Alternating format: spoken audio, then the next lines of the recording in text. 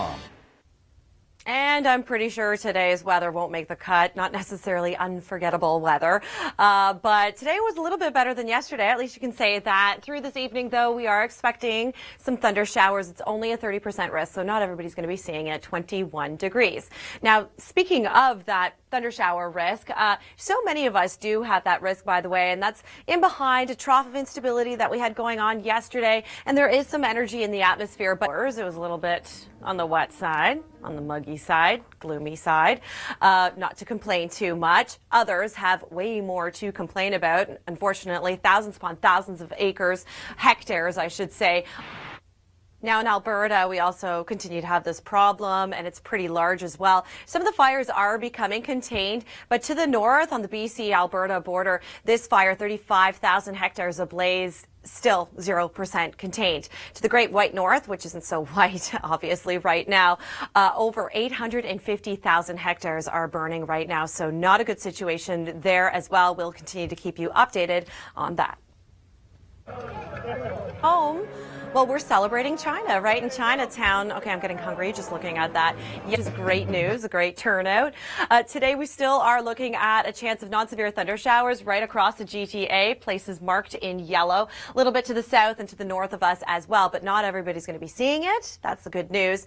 But one thing's for sure, more activity to the north.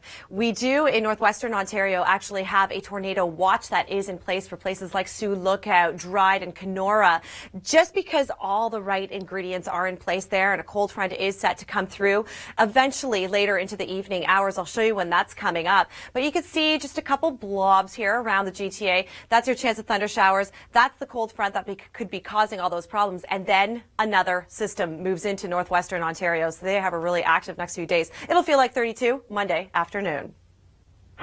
Uh, yeah, this area actually gets a lot of hail. It's just the right setup there along the mountains.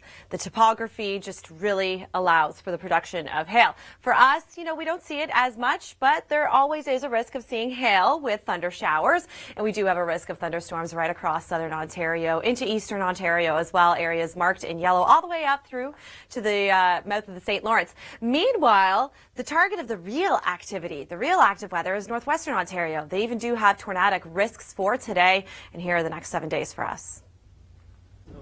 Kind of lousy conditions for that. I'm not going to lie. A lot of umbrellas out. It was rainy and dreary yesterday. Ooh.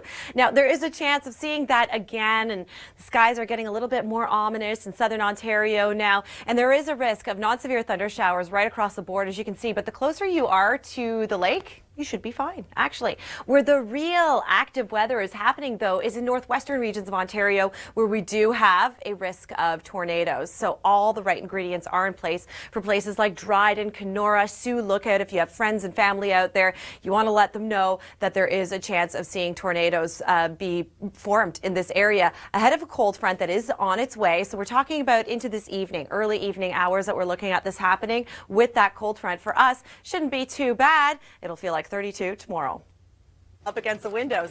And I know our very own storm hunters, they can attest to that. Our vehicles that we actually take out to go live on location, they have several dents in them because of the hail, and everybody can tell when we're driving by, that's hail. Yeah, it was big hail uh, that they picked up. But meanwhile, for us, we have a chance of seeing a non-severe thunder shower.